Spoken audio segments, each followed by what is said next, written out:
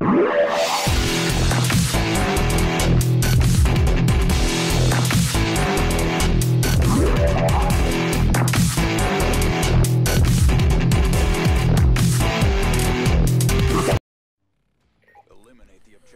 is going on, guys? This is your boy 17K Dog here, and if you guys were wondering about that intro, I entered for the Clash of the Commentators contest that was held by Control Freaks, but that's not what I want to talk to you about. Can we please, people, get a moment of silence for the 177 or 71 passengers that died in the Spain train crash uh, or pile up, if you please. But God bless their souls. May you look after them in the afterlife, you know, and help the people heal who have been injured. There was 131 people injured, and I pray to God that everybody, you know, makes it through this alive and nobody is severely injured to the point where they can't live and they pass away. Please, God, watch over them. Thank you. What is going on, guys? Let's begin the commentary.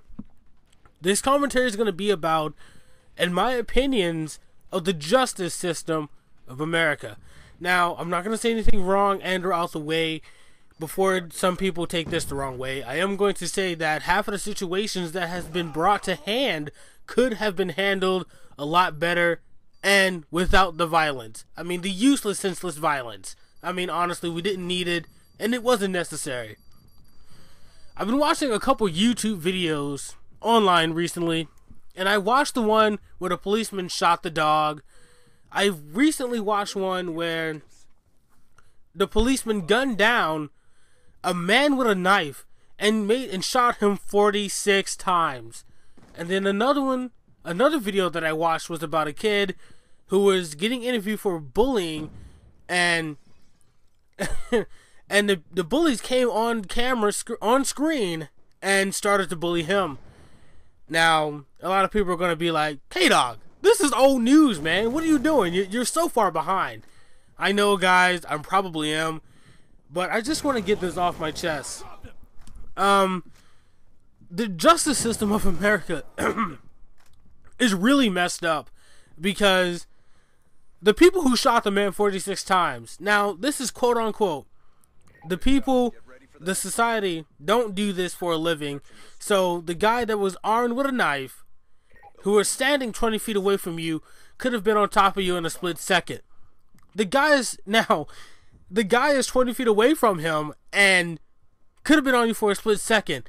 You do not understand how backwards this saying or this sentence sound. There are nine there are nine cops. There are nine of you there. How is one person with a knife who are 20 feet away is gonna be on top of you in a split second? I don't understand that. That doesn't make any sense at all. Because if nine people can't handle one person, it's completely retarded. Now, this is how I would have dealt with the situation.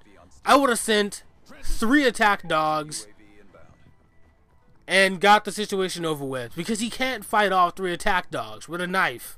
No way. Bring him down, bag him, and tag him. Now, I watch cop shows where people have had knives and four cops rushed him and took him down. They could have did the same thing there. That was completely unnecessary and they didn't have to resort to shooting him 46 times. That's it about that. Now let's talk about the guy who had his dog shot. I don't think they should have shot the dog. I mean, the dog jumped up, but the dog also backed off. You didn't have to shoot it as many times as you did. Or you could have uncuffed the owner and let the owner handle it. It's it's a lot of stupid, senseless violence in America is unreal because there are different there are there are all sorts of outs that can be handled to a certain situation where it didn't have to resort to useless violence.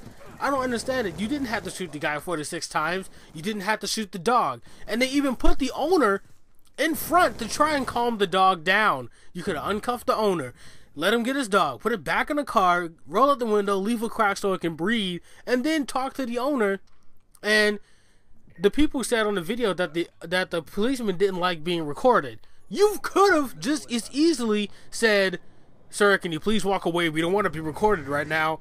And this and the third, you're messing with our investigation. Okay, granted, he would have walked away, but no, they immediately arrest the guy who was recording. Now, mind you, there are two people behind him recording him, recording the cops, and he didn't even go after them, but they were in the same distance. They were all a block away. This is retarded, guys. I don't understand what is going on with America. And if you're gonna get one, get all. And as far as bullying, I hate bullies. But I don't believe that the reason why we have the whole bullying thing going on is because nobody's cracking down on it. If you enjoyed this commentary, give a like, rate, and